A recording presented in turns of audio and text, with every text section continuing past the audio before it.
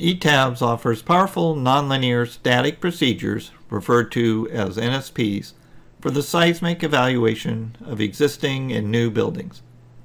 Nonlinear static procedures typically consist of two principal components, a pushover analysis and a site response spectrum. Although a nonlinear time history analysis offers greater accuracy and less uncertainty when compared to static procedures, an NSP can still provide a reasonable idea of global behavior and possible failure modes of a building with substantially less computational effort. NSPs convert multi-degree of freedom models to single degree of freedom models utilizing pushover analyses to determine capacity curves, typically in the form of base shear versus the displacement at the roof, and then use a ground response spectrum in some form with this capacity curve to determine an estimate of the maximum global displacement. In this example, we will look at two different types of NSPs. One uses a capacity spectrum method, or CSM, and the other uses the displacement coefficient method, or DCM. The capacity spectrum method is based on an equivalent linearization approach such as used by FEMA 440EL. In this method, the pushover curve is converted to a capacity spectrum, converting every point on the curve to a spectral acceleration and spectral displacement. Next, a reduced ground motion response spectrum is converted into an acceleration displacement response spectrum, or ADRS, which is the demand spectrum. When the capacity spectrum and the demand spectrum are plotted together, the point where they intersect is called the performance point, which is an estimate of the maximum displacement. On the other hand, the displacement coefficient method applies modifying coefficients to the peak elastic displacement to determine a target displacement, as described in ASCE 4113. Based on the pushover curve, an effective stiffness is determined from which an effective period can be calculated. Using this period in combination with the response spectrum, a spectral acceleration may be obtained. This spectral acceleration is then used in an equation with the modifying coefficients to obtain the target displacement or maximum displacement.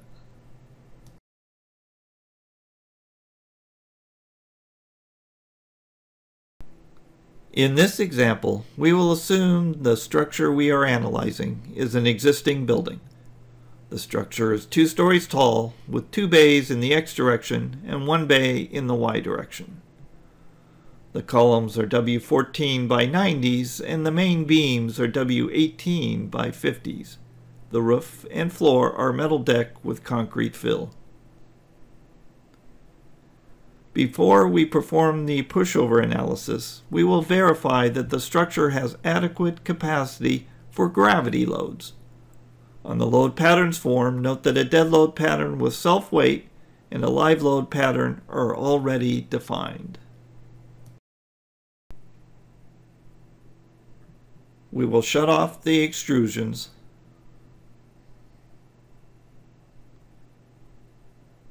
and then set the load cases to run. Here we are running the dead and live loads.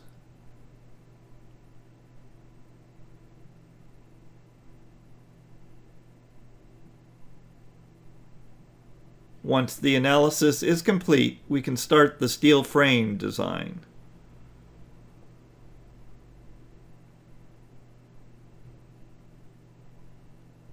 These sections appear to be adequate for gravity loads.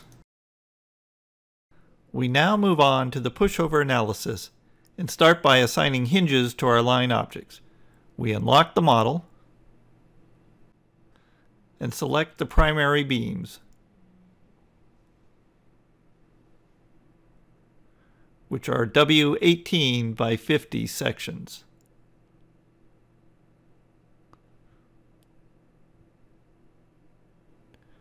Then we go to the Assign Frame Hinges command.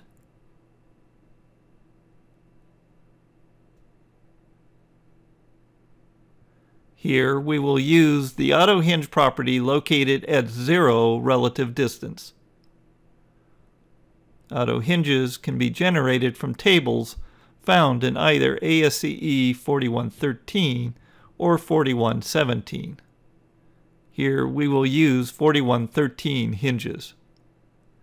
We have a choice of several different types of hinges, and we will use the steel beam flexure hinge in the M3 degree of freedom.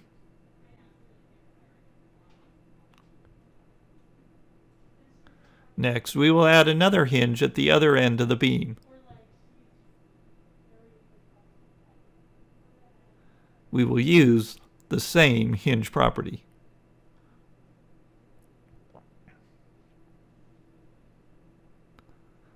Next, we will select the columns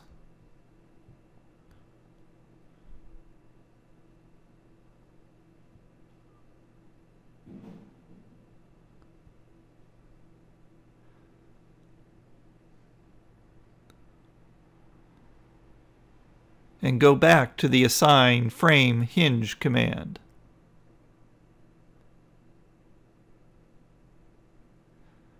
We will follow the same procedure as done with the beams,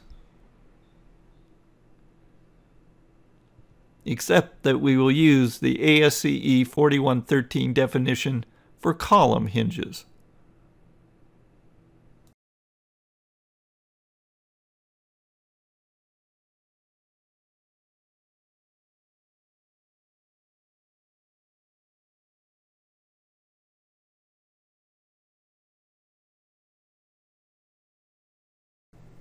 We can verify the hinge properties generated by going to the defined section properties frame wall nonlinear hinges command. Since we are using auto hinges, we need to check the show generated properties checkbox. We select hinge C3H4, which is a hinge at the top of a column in story 1.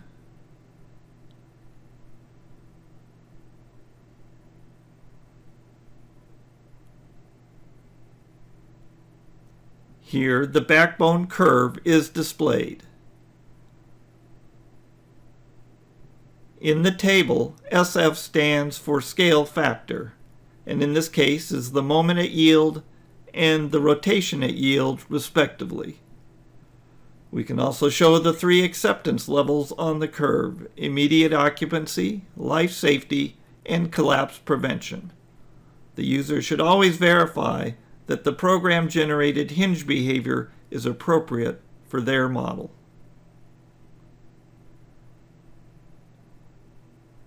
Next, we select all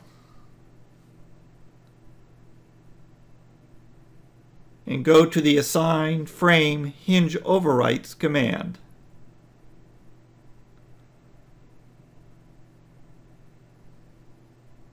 Check that the Auto Subdivide frame objects at hinges checkbox is active. This will discretize the members and can give better results. Next, we will define the pushover load case. However, before we do that, we will create an additional load case that is the dead load plus 25% of the live load. And we will set this case to nonlinear static so that the program can use this case as the starting point for the pushover.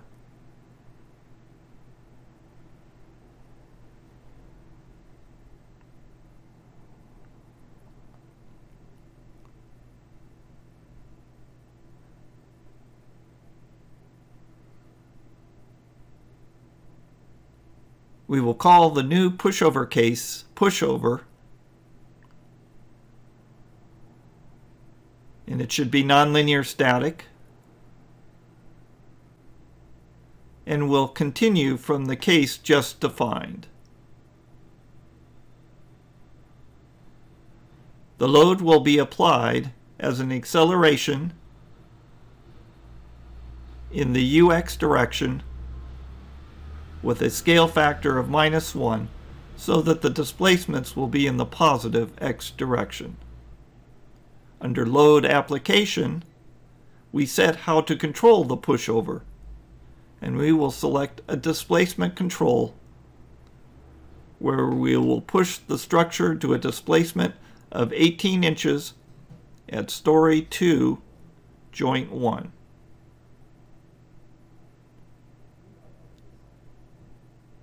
We will also save the analysis at multiple points so that it will be available during the push.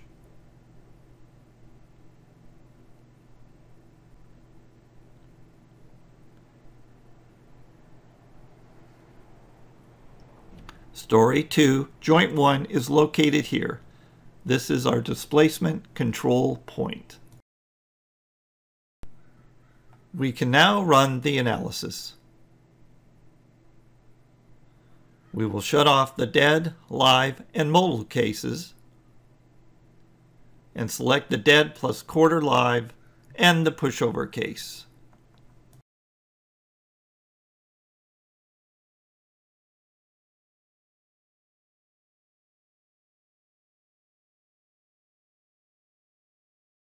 Once the analysis is complete, we are going to change our 3D view and then display the deformed shape for the pushover load case.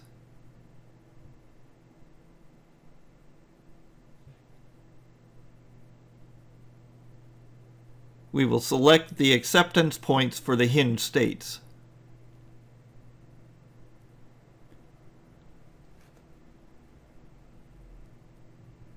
We can toggle through the various steps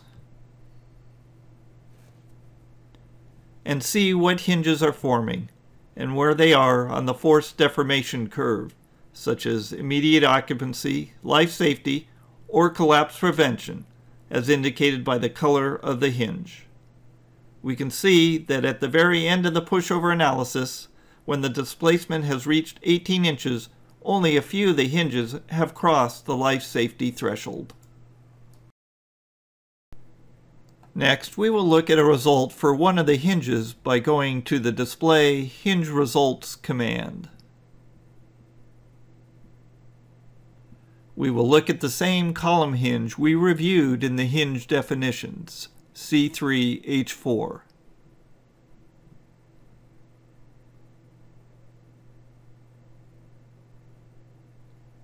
As we scroll, notice how the steps change and how the dot follows the backbone curve into the post-yield region and crosses the life safety threshold. However, remember that this is the state of the hinge at the end of the pushover analysis and does not necessarily represent the demand the hinge will see from an earthquake. Next, we will plot the pushover curve.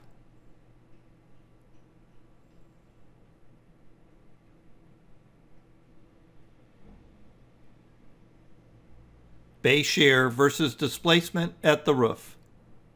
In this case, notice that the structure was not pushed far enough for the base shear to drop off.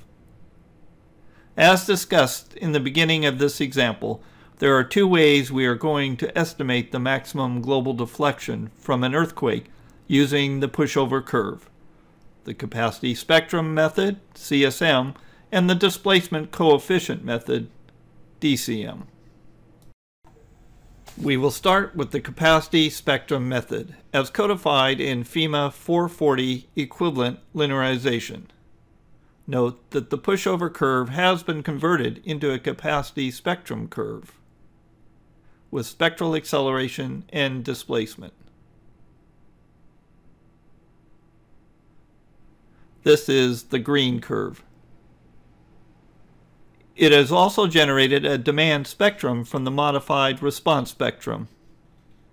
And this is the red curve. However, we need to adjust the reference response spectrum for our specific location. In this case, we are going to use Berkeley. And here we will set S sub S to 2.302 and S sub 1 to 0.956.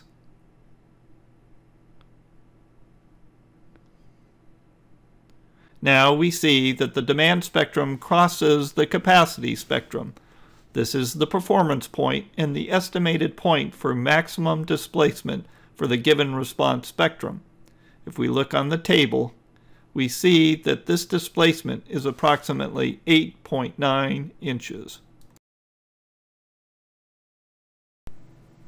If we look at the table of spectral values, we see that a spectral displacement of 7.8 inches occurs somewhere between the fifth and sixth step in our pushover.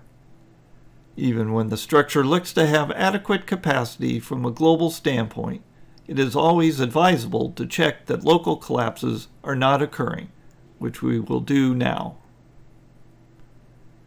When we display the deformed shape for the fifth step, we see that no hinges have yet formed and that at the sixth step, only a few hinges have crossed the immediate occupancy threshold, which indicates that there should be no local collapse for this level of earthquake.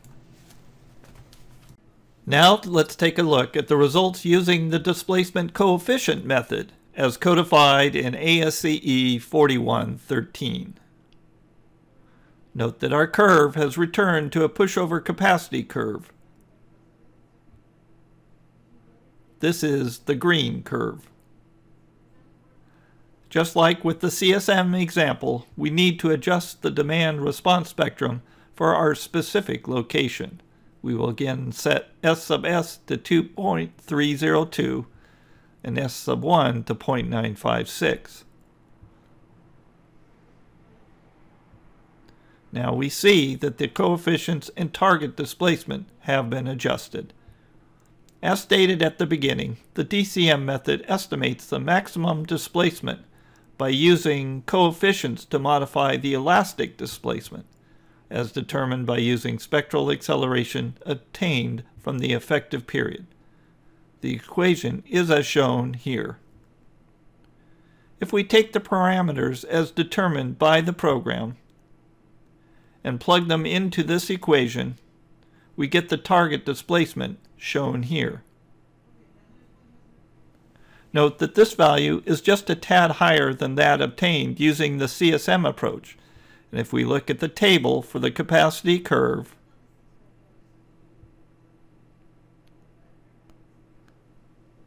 Nine point two seven inches again falls between steps five and six, just like CSM, so no local collapse should occur. The target displacement of 9.27 inches gives an overall drift from roof to ground of just over 3%. Reports may also be generated for the nonlinear static procedures.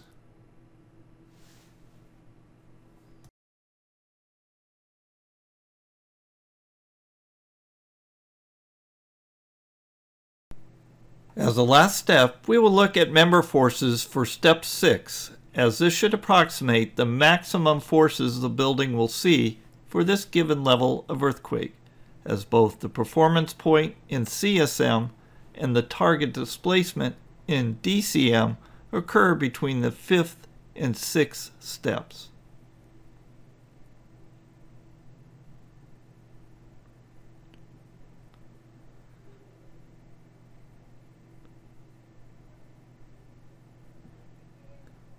We can right-click on the members to bring up detailed force diagrams.